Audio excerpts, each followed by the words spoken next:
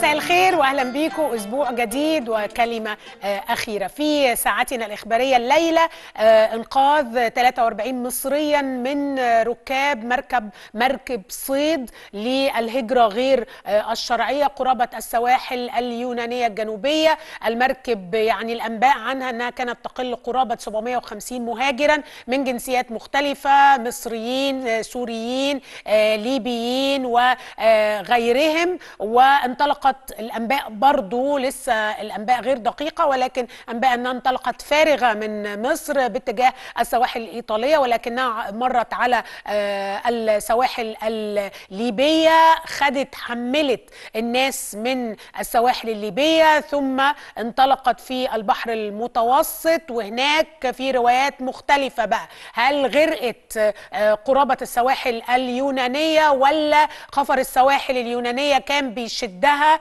فاتقلبت وغرقت في عدد من الروايات المختلفة. طب كام عدد المصريين؟ مفيش رقم دقيق لكن الأنباء برضو بتتكلم على حوالي 79 مصري تقريبا آه، على متن هذه المركب. آه، في 43 تم تم إنقاذهم وفي تسعة مصريين آخرين رهن التحقيق في آه، مع أمام السلطات اليونانية مع ليبيين وسوري بتهم التورط في آه، الهجرة غير آه، الشرعية والإتجار بالبشر. آه، هذه ظاهرة مهمة جدا. مصر كانت تمكنت في السنوات الماضية إنها تمنع تماما الهجرة غير الشرعية من سواحلها. ولكن من الواضح إنه هذه السفينة تمكنت بقى من أو هذه المركب خرجت ولكن من غير ناس. وفي سماسرة بقى موجودين في ليبيا طبعا في ظل الأوضاع المضطربة وغير المستقرة آه، هناك. آه، هنتكلم عن هذه القضية وهي قضية شديدة الأهمية الحقيقة لأنه في النهاية الهجرة غير الشرعية دي نتيجتها. نتيجتها الغرق. كام بيوصل سليم كام بيوصل بينجو. طب ونتيجة اللي بينجو دول مستقبلهم عامل إزاي؟ مهما كانت الظروف سيئة فهي لا تكون أسوأ من الموت غرقا آه، في صبية يعني إحنا بنتكلم في أعمار اللي اتقبض عليهم دول من أعمار 20 ل 36 يعني أعمار صغيرة ومن 79 إحنا بنتكلم على كان في آه، صبية وشباب آه، في أمهات فقدوا اتنين من ولادهم آه، في في هذا المركب من قرى مختلفة من مصر.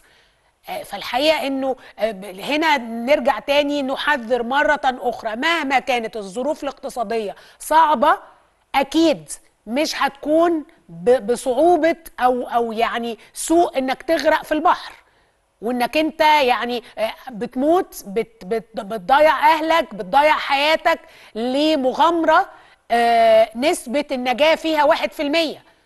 وأي حد بيديك بقى ال... ده إحنا كمان الناس دي بتدفع فلوس لسه مصر عشان يركبوا هذه المراكب.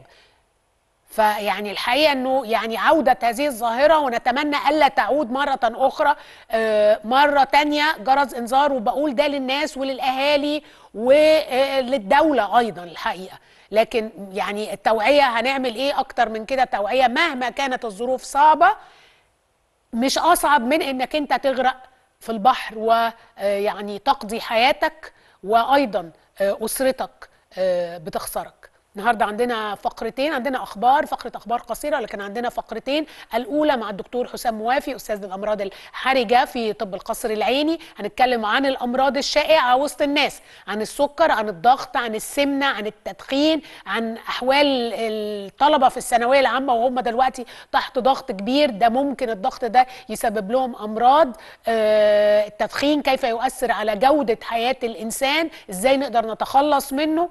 آه، كل ده هيكون في حوارنا الأول يعني في الجزء الأول مع الدكتور حسام موافي. في الفقرة الثانية حديثنا هيكون عن آه، واحدة من أيقونات التلفزيون المصري رحلت مؤخرا الراحله فايزة واصف. فايزة واصف هي صاحبة برنامج حياتي. كان أحد أهم البرامج الاجتماعية في التلفزيون المصري. كان برنامج له طابع درامي كتير من الفنانين الكبار مثلوا فيه وكتير من المخرجين الكبار. الحقيقة شاركوا فيه. هنتكلم النهارده مع أسرتها ومع عدد من النقاد الفني الفنيين أيضا. يلا نبتدي الحلقة.